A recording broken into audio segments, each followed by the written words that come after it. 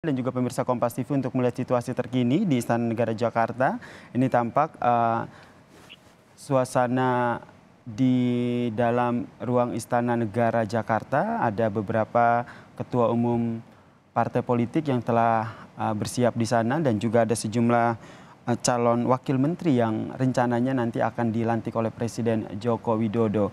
Mas Adi, menanggapi apa yang tadi disampaikan oleh Bang Viva Yoga, apakah ah, bisa bisa dikatakan seperti ini uh, momen uh, permasalahan minyak goreng di Menteri Perdagangan apakah ini juga menjadi salah satu tantangan juga yang sengaja diberikan oleh Presiden Joko Widodo kepada sosok seorang Zulkifli Hasan begitu sehingga ketika dia menjadi Menteri Perdagangan nanti ketika dilantik dia juga bisa langsung membuktikan bahwa saya pantas gitu menjadi seorang Menteri Perdagangan dengan sejumlah PR-nya.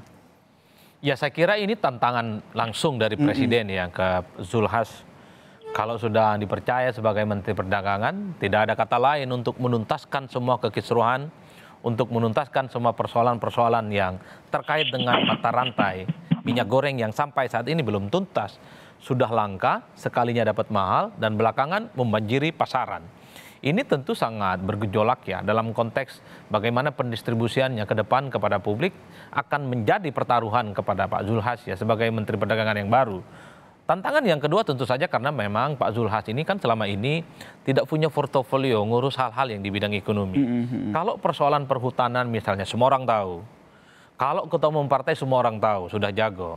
Ini yang sepertinya dilihat oleh presiden, mungkin karena posisinya sebagai ketua umum partai yang dinilai mampu mengorganisir sebuah organisasi besar, ataupun pengalamannya seperti Menteri Perhutanan, hmm. ini bisa menjadi bekal sesuatu yang sebenarnya relatif baru bagi Zulhas. Artinya bekal organisasi, bekal manajerial, tentu dengan sistem yang sudah terbentuk, semua yang terkait dengan kekisruhan minyak goreng itu bisa diselesai.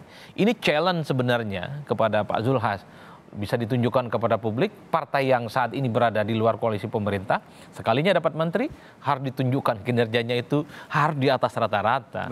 Ini adalah variabel-variabel penting hmm. yang mesti dilihat bahwa Pak Zulhas ketika dilantik bukannya lebih banyak santai sebenarnya untuk sampai 2024, tapi harus lebih fokus bagaimana persoalan minyak goreng ini saya kira akan cukup bagus.